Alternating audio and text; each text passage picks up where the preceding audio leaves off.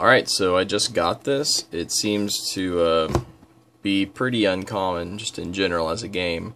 I didn't even know there was a collector's edition version of it. Uh, I'm just documenting what comes with it when you buy it brand new.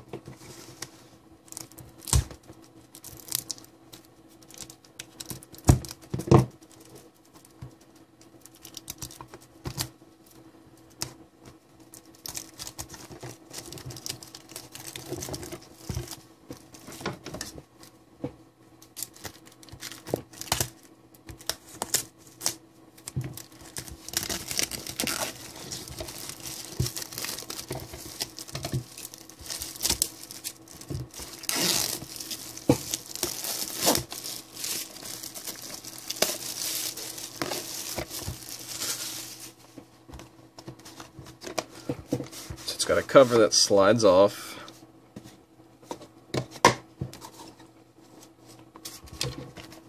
And you have this, what you're left with.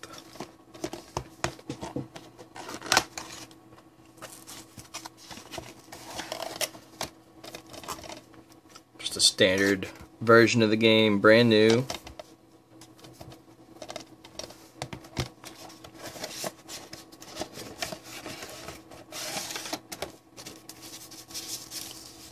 Soundtrack, the making of disc, downloadable content,